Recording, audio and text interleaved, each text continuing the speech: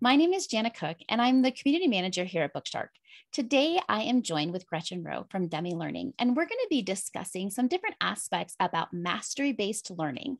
Gretchen, thank you so much for being here. Oh, it's my very great pleasure to have the time to spend with you today.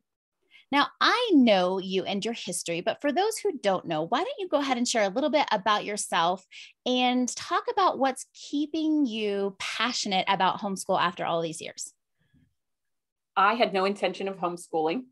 Um, in fact, I had no intention of having children. We have six, and we homeschooled 21 years. Four of them graduated homeschool from high school, and then our fifth was homeschooled to high school and our caboose was homeschooled to middle school. And it was the most joyful 21 years of my life, and I wouldn't have traded it for anything. I have worked in the homeschool community in positions of homeschool advocacy now for 15 years. And I love the fact that we have the ability to guide our children to adulthood in all aspects. And so I continue to be as excited today about the homeschooling journey, even though it's not one that I'm taking right now. I just enjoy walking alongside other parents as they take that journey. So, how long have you professionally been involved with homeschooling? I became a homeschooler uh, overnight in the middle of an academic year when a teacher told my third grader she didn't need to memorize her multiplication tables. And I said, Nope, that's a wrong answer something's got to be better out there. And I really only intended to homeschool her from March to June. And it became a glorious adventure that didn't end for a long time. And she turned 36 yesterday. So I think we did okay. Now, how about your um, partnership with Demme Learning? I have known Steve for 15 years. We spoke on a homeschool circuit together, and um, a little over eight years ago, they asked me if I wanted to come aboard professionally. And I said, I wondered when you would ask me to do that because I love the product. It was a complete game changer for me. When I came to work for Demme Learning, it was Math-U-See, and they had just launched Spelling You See. Um, the end of the pool where the language arts happen is my favorite end of the pool to swim in. And so I was really excited to see, see Spelling You See come aboard. But Math-U-See was a huge game changer for me. I'm not a confident mathematician. I think math is spelled with four letters for a reason. But I loved the fact that Math-U-See made it possible to educate my kids. So four of my um, kids are Math-U-See kids, and I never looked back. It's been amazing. Well, for those who don't know, Bookshark partners with Matthew C. Demme Learning. We also use their Spelling You See in our program. So if you want more information about that, make sure you check out our website, which is bookshark.com. Gretchen, a lot of parents ask me when I talk about Math-U-See, what is a mastery based type of learning? And it definitely is not the type of learning that I had in traditional school or even in my homeschool years. So it was very unique to me as I became aware of your product and started using it in my home with my children. Um, so could you kind of just walk us through this philosophy of what this actually means and what it will look like for parents? Sure, absolutely. So there's two kinds of ways to teach mathematics instruction. One is incremental, that's the one most of us are familiar with. Someone predetermines how many times you will see an individual concept. And so perhaps they present that concept three times and then it falls out of rotation or sequence. The mm-hmm. challenge with that kind of learning is if you're not solid in your understanding, then your understanding is incomplete. And there's no way to assess that incompleteness as you go further. And because math is sequential and cumulative, it becomes really essential for us to get it right. And that is one of the reasons that I love a mastery based program. Uh, at Math-U-See, we say we are student paced. So, as a student can demonstrate their understanding to a parent or an instructor, they can move forward in the curricula. They're not bound by a predetermined number of math problems per se. And that makes a tremendous amount of difference. It does. Now, when you found out about Math-U-See and, and fell in love with this program, um, what differences did you say see in your children as you started using it? one of the things I think that's really important is my background is in child development and uh, child psychology. I actually was enrolled in a PhD program when I found out I was expecting my eldest son, and so he's my PhD. Um, but I love the fact that I can bring more than one sense to the table. Not all of us play on a level field as far as our understanding. We all have different gifts.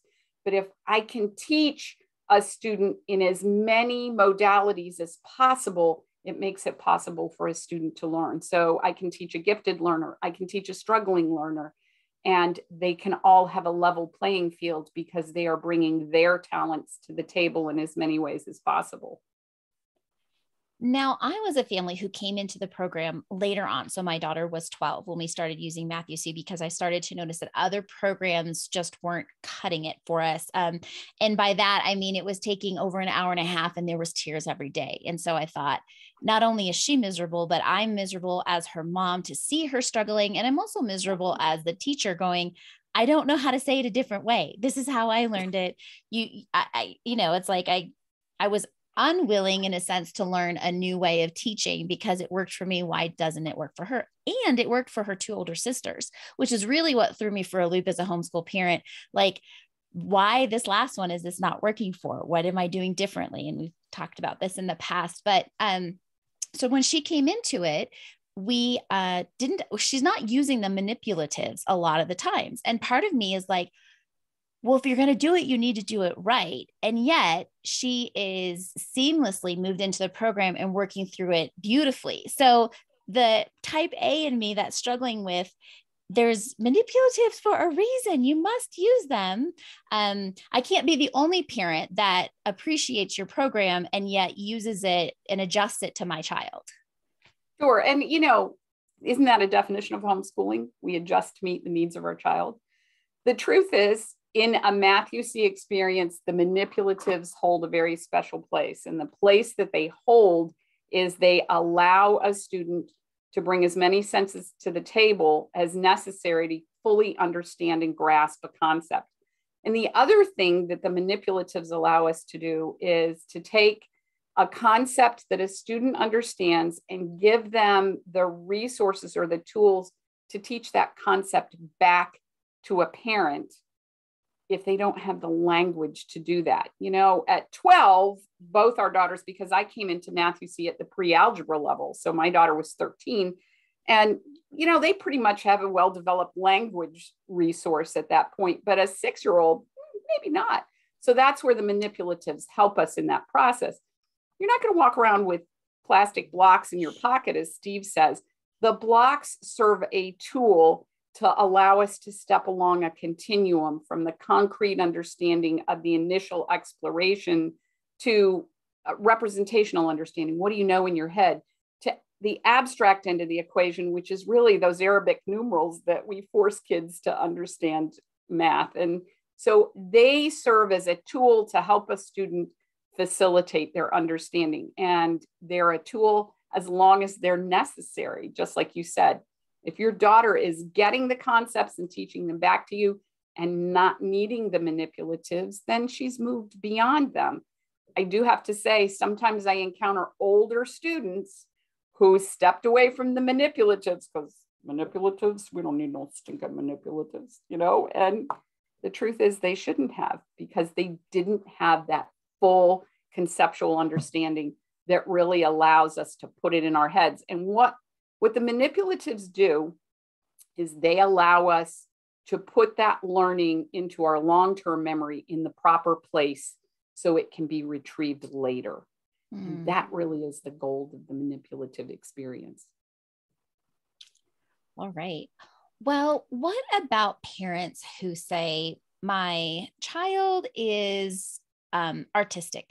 My child is a writer. My child is, and in math isn't their strong suit. And so, you know, we're really not pushing math or we're really not, eh, you know, we're not looking to change and for them to just get through, to just get by because we know that they're not a math person. We're not math people. And I've been guilty of myself of saying it. But as I've matured and grown older, I understand that is so not true. So you were explaining that in your younger years, your child psychology. And so math wasn't necessarily your thing, but now you've been working with this company for eight years and you're very passionate about math. So help me understand as a parent who, eh, maybe I shouldn't worry about my child really understands algebra or not, um, why we need these higher types of learning in these processes in order to make it um, a better experience as adults. Sure. You know, the truth is, math is like death and taxes. You don't get away from either one. And we have developed a culture here in the US of thinking that math literacy is not a necessary skill set. And because of that, payday loan companies thrive. It's up to us to keep the doors open for our kids mathematically. And I would have taken that argument to the wall with you 15 years ago with the kid who brought me to. You see, she's now 30 and she was 13 when we found our way here. And we had been through two different curricula and really struggled. And I said those very same things. Well, math just isn't her thing. She's my daughter, blah, blah, blah. But the truth is, as parents, our goal is to keep as many doors open as possible for our kids. We don't know what the future holds for our kids. And if we make suppositions, we narrow their ability to be flexible. And if I've learned anything since 2020, it is that flexibility is a great sign of intelligence. So we need to keep those doorways open for our kids. And as a matter of fact, we have this misapprehension that if you're artistic and you're creative, you're not mathy. And that's not really true. Leonardo da Vinci comes to mind. And, you know, I think the important thing is we don't know what the future holds for our kids. So why would we start narrowing the pathways? Let's keep the doors open wide. And regardless where they choose to go academically, they have the wherewithal to be successful. I'm glad I kept the doors open for that particular child because that non mathematical artsy kid is a research biologist today.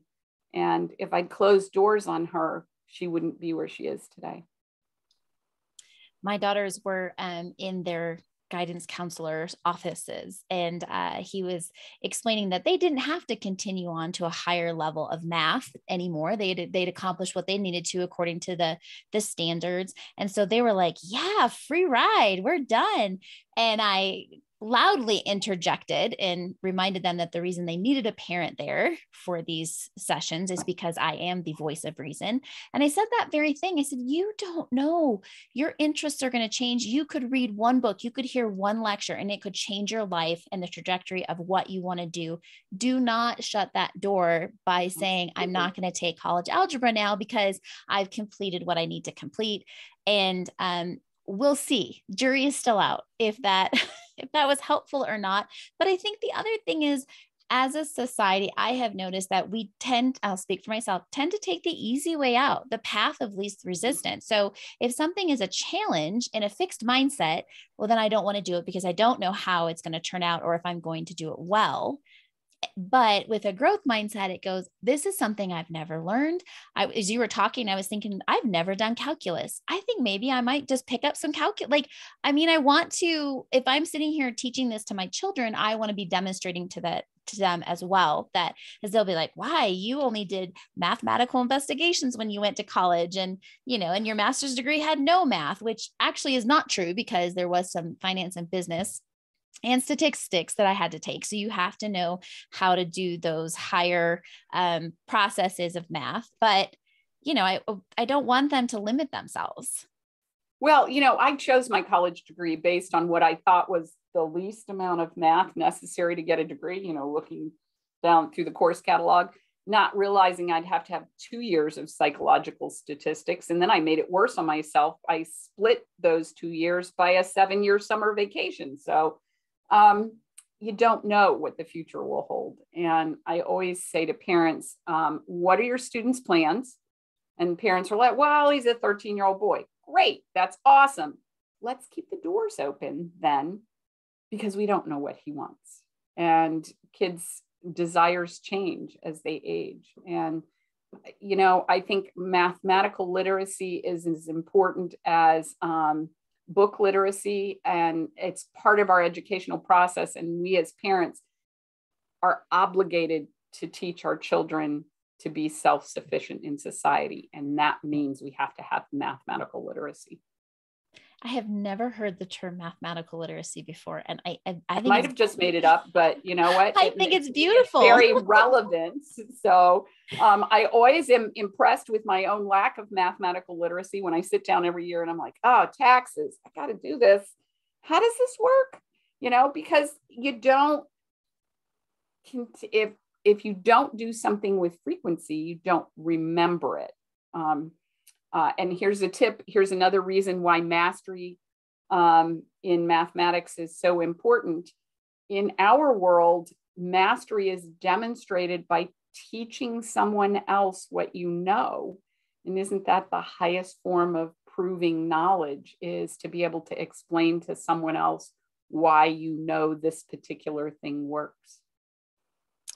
Unfortunately, I think we have seen in our society a lack of mastery in so many things because people don't know why they do things or, or why they don't know what they know. Right. And so I think as homeschool parents, it's another privilege of ours to be like, hey, here is a very serious topic that is relevant and current in our society. Let's talk about it.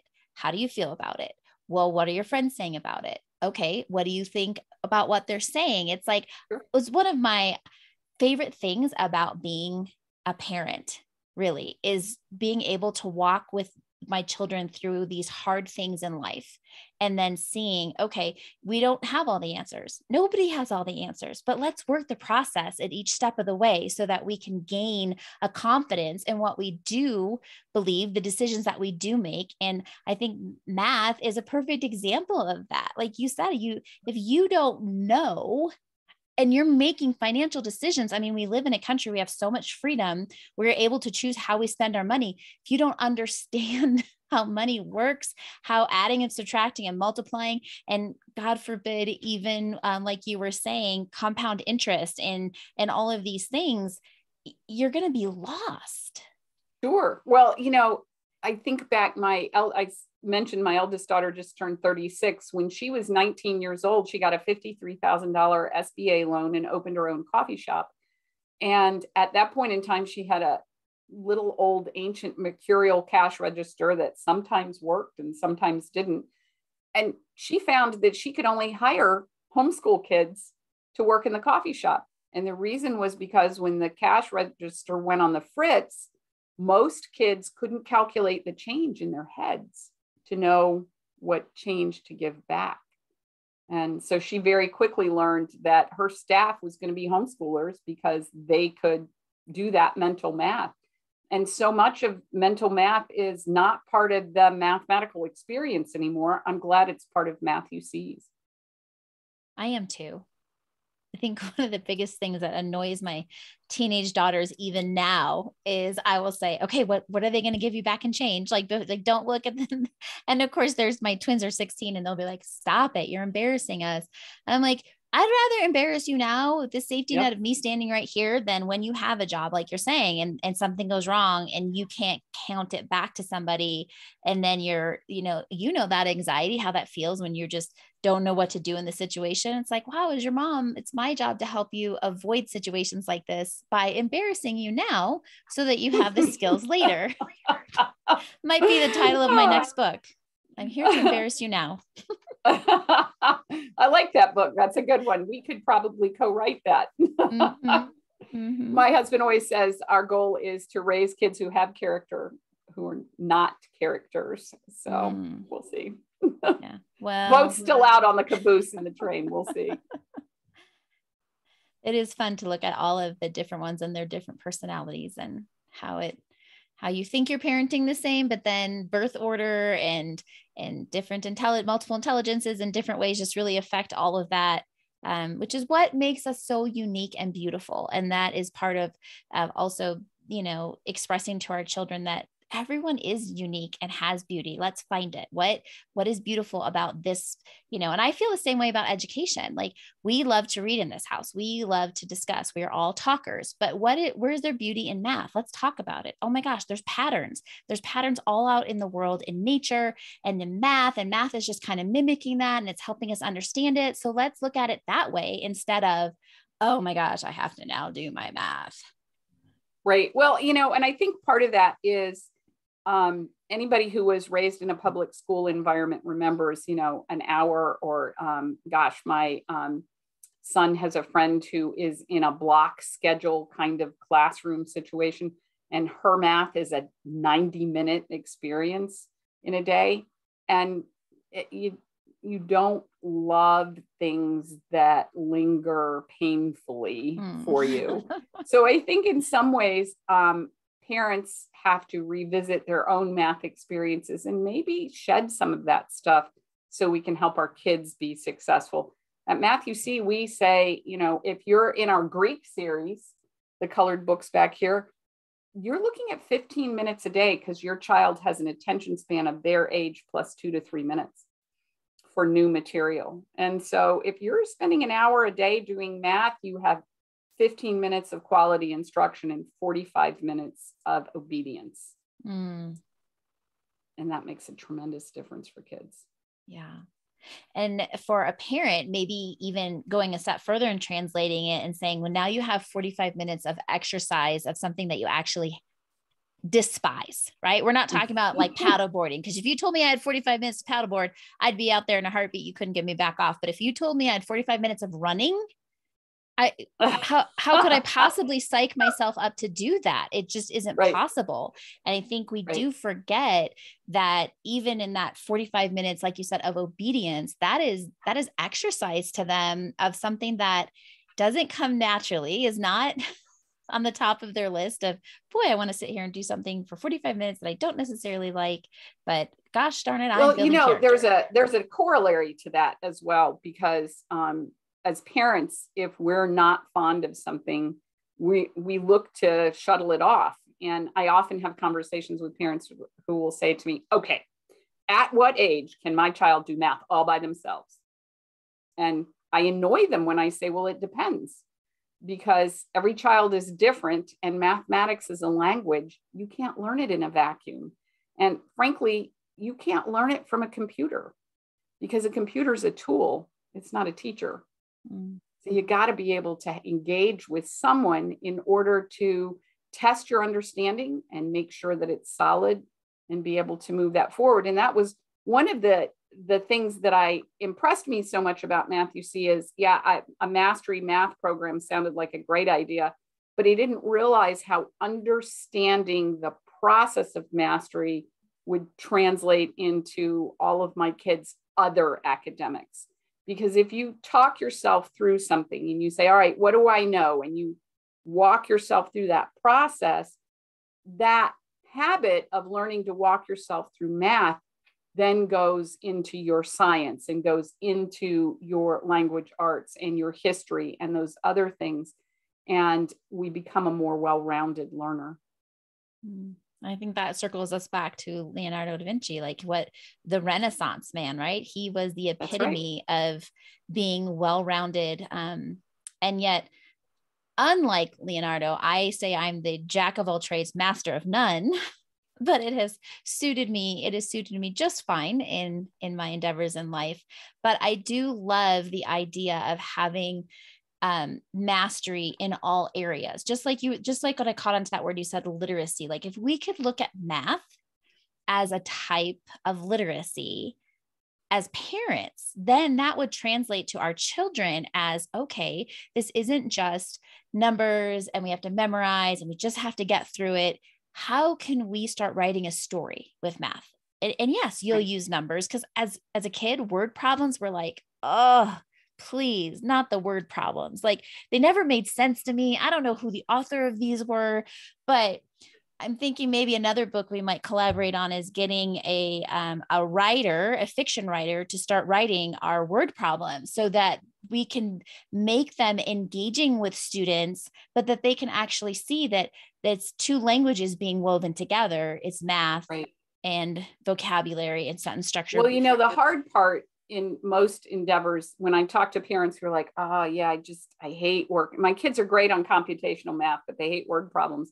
When math comes to us as adults it's a word problem. Mm-hmm. so we have to give our kids a degree of facility. And one of the things that we say at Math-U-See is the word problems are where you prove your application and understanding. Mm-hmm. because if you can take the conceptual understanding you developed in the worksheets and then apply it in the word problems, then you really have both sides of that mathematical coin. Yeah. And then their literacy would be even higher. So, right.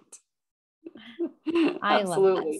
love this. One more thing, Gretchen, before we go. What would you like to say to a parent who is maybe struggling with several things?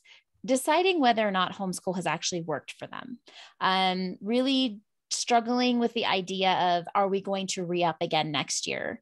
And and maybe there this is all coming from a place of i'm not seeing the results that i set out to see. So if i if you had a parent come into your booth and or call you on the phone what would be your best words of advice for them for those things? Don't read other people's highlight reels. You know you we all are involved in some sort of homeschooling endeavor where there's the child who has every you know kudo and accolade going on and we've got the child at home who couldn't find their shoes to go to the homeschool co-op in the first place. And the, the truth of the matter is your journey is your journey and it is equally valuable and this is a hard job. You're going to invest a lot of time and blood and sweat and tears and you don't see the return on your investment right away. But it doesn't mean you're not making a tremendously good investment, but you are fully capable and equipped to teach your children and figure out what worked this year and celebrate that because it's a marathon, not a sprint. Uh, yeah, man. And nobody wants to run a marathon, Gretchen.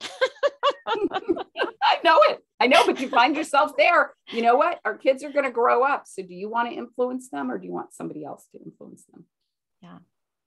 Well, good advice coming from a, a mother who has seen it from start to finish um, and is now helping other parents as they are along their journey. So we just want to thank you for coming on today.